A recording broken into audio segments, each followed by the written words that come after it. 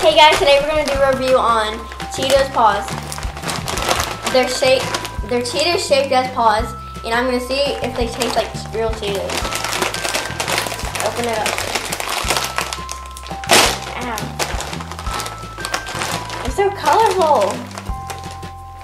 Oops. This is what it looks like.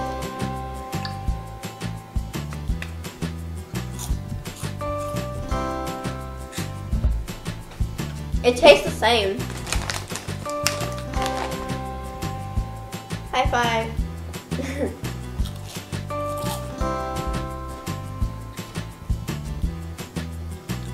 so guys, they're just Cheetos shaped like paws.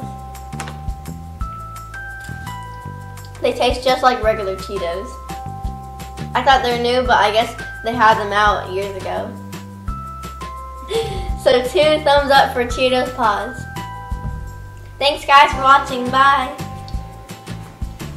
Oh, these are so good.